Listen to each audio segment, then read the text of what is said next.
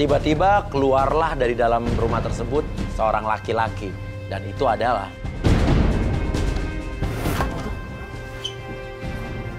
Ada apa rame-rame ini? enggak kok, Kamera segala. dia marah melihat kamera-kamera ada di mana-mana. Untungnya Aca pinter, dia bisa menjawab pertanyaan kakaknya dan dia bisa menyembunyikan, dia bisa ngeles.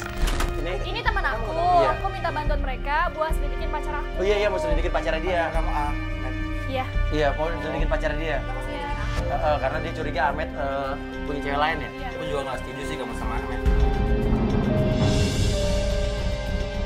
Iya, Iya kak, aku mau selidikin Ahmed kok. Ya udah deh kalau gitu aku pergi dulu ya. Iya, iya hati-hati kak. Iya. Lalu kita masuk ke dalam rumah. Dan di situ kita melihat ada seorang wanita sedang di pojokan menangis tersendu-sendu dan dia itu adalah Kakak diapain? Kakak dia, kakak bilang sama kakak. Kakak nggak diapa-apain deh, udah. Orang nggak diapa-apain kok. Kakak jujur, terus kenapa kakak nangis? Ya nggak apa-apa, kan cuma cuma sedih aja.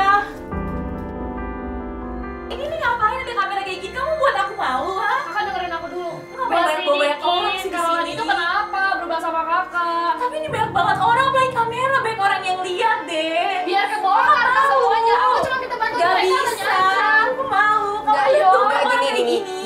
Jadi adik kamu ini minta tolong ke kita untuk eh, ngebantuin kamu dan suami kamu. Katanya dia ngelihat sepertinya suami kamu mulai berubah. Jadi kita mau nyelidikin. kamera kayak gini. Iya, Kak, kamu kamu kan nanya persetujuan aku dulu. Kenapa sih, Dek?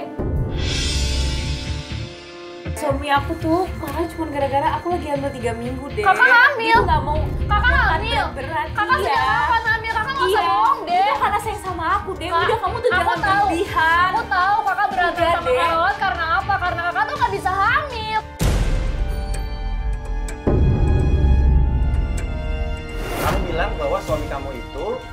Marah gara-gara kamu ngangkat berat-berat.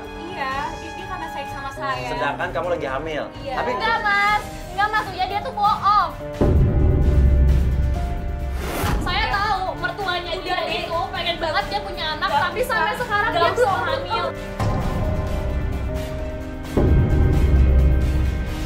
kita bingung kenapa dia nangis. Sampai bilang Aca minta kakaknya itu untuk menunjukkan bekas lebam di tangannya. Tapi kakaknya bilang bahwa bekas lebam itu dia terjatuh. Tuh kan kak, Enggak, udah deh. kakak lihat ada kan, apa-apa. ini tangannya biru-biru, ini tuh suaminya Ini kak. tuh kepentok pintu, deh. Udah kamu tuh berlebih. Kamu tuh kamu banyak terlalu Udah, Gini, gini, berlebihan, gini, tau. Kamu tuh berlebihan. maaf, eh, Aca, saya kita datang ke sini kan atas permintaan kamu untuk Iya. menyelidiki kakak ipar kamu, Iya. suaminya dia. Sekarang istrinya mau nggak? Saya tanya.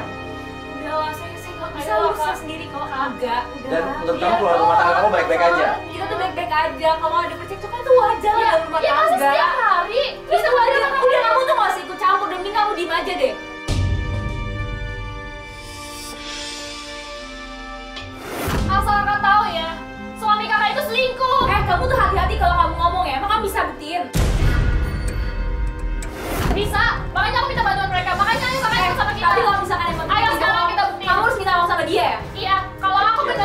Oke oke oke. gini. Ya udah, Tadi lihat. tadi juga kru kita sudah ngikutin ya Mas Uya. Iya, Udah ada udah ada ngikutin, kru kita yang ngikutin. Dengan motor ngikutin dan kita akan nanti dikabarin di Sherlock ke mana perginya. Menurut kamu, emang setahu kamu malam-malam dia ke mana dia?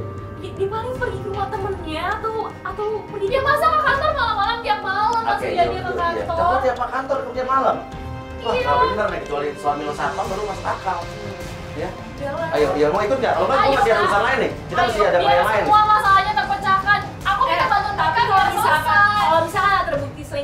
Minta maaf langsung sama dia Ya tapi kalau terbukti gimana? Kakak Udah, sekali sama mending dia. kita buktiin aja ya. udah, yang penting kita dulu Ya udah. Yuk, Ayo kita yuk.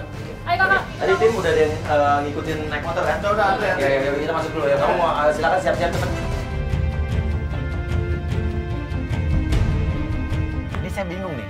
Kan yang nikah kan kamu nih, ya kan? Sama suami kamu. Tapi kenapa adiknya yang minta kamu cerai? Iya. di rumah aku kan serumah sama kakakku sama suaminya. Oke. Aku tuh sering lihat kakak aku tuh dikasarin sama suaminya. Hmm. Karena sebelum mereka pacaran, aku melihat tuh mereka manis banget. Eh pas satu bulan terakhir ini, pas mereka udah lama 6 bulan Nikah, nikah, ya. suaminya jadi sering kasar. Coba kakak unjukin biru yang kemarin. Udah, udah deh. Yang nggak kemarin aku lihat. Udah. Itu apa-apa. kan yang kasar sama Enggak, kakak. orang ini kebentur pintu dia Ya lagi di kasih tahu rumah. lah kak, kakak harus cerita. Dia orang baik-baik aja, kamu aja sih yang terlalu overreacting di segalanya tau nggak? Menurut kamu tuh alasannya apa kamu mencurigai kakak ipar kamu? Kalau menurut aku sih, Kak Roland selingkuh sama yang lain.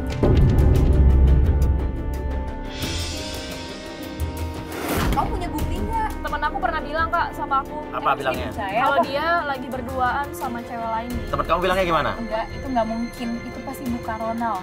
Aca bilang bahwa temennya Aca ini pernah lihat kalau kakak iparnya berselingkuh atau jalan dengan wanita lain. Mungkin, kita nggak bisa Gini, dipercaya. eh. Dia ngeliat sendiri. iya, Dia bilang sama Ya, aku, harus dipercaya. Tim kita tadi udah udah mengikuti eh, suami kamu.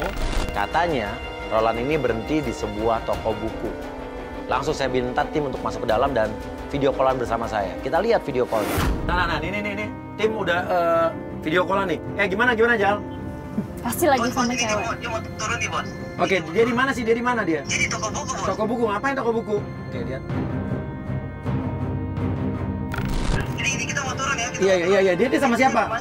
Itu, Sendiri. itu Oh, ini dia sendiri nih di depan toko buku lagi nelpon seseorang. dia pasti sendiri kan? Dia pasti sendiri Tuh, kan? dia lagi nelpon seseorang, Ya, cuma nelpon Ya, siapa kan? tahu dia nungguin cewek itu. Iya, pasti iya. thinking dulu. Oke. Oke, kita tanya. kok. Dia sendirian, sendirian, Jal. Awalnya sih dia kayak sendiri tapi sam- sambil kayak nunggu orang. Tapi tiba-tiba datanglah seorang wanita dan wanita tersebut adalah Ini bukannya Dinda? Kamu? Iya. Dinda tuh siapa? Dinda itu siapa? Dinda tuh yang waktu itu laporin aku kalau Carolan itu selingkuh. Loh, tunggu tunggu. Dinda itu adalah sahabat kamu Iya. yang bilang ke kamu kalau kakak ipar kamu selingkuh. Iya, coba aku lihat dulu deh, Lah, Kak. tunggu yang lihat-lihat bener.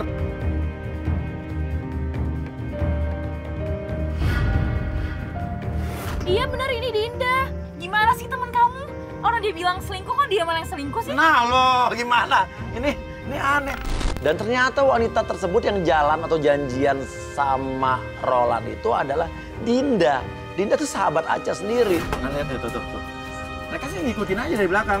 Kayaknya sih masih normal-normal aja ya, nggak ada yang mencurigakan.